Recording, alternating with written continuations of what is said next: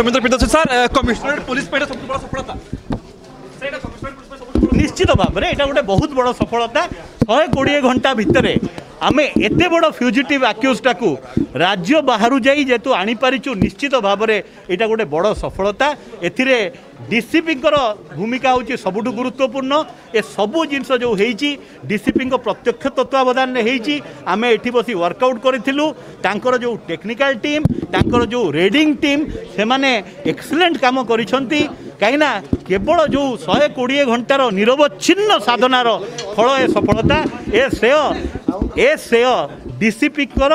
ଯେଉଁ ଟିମ୍ ରହିଛି ତାଙ୍କର ସମ୍ପୂର୍ଣ୍ଣ ଭାବରେ ଆଉ ବିଶେଷ କରି ଡିସିପି ତାକୁ ପ୍ରତ୍ୟକ୍ଷ ଭାବରେ ମନିଟର କରୁଥିଲେ ତେଣୁ ଏ ସଫଳତା ନିଶ୍ଚିତ ଭାବରେ ପୋଲିସ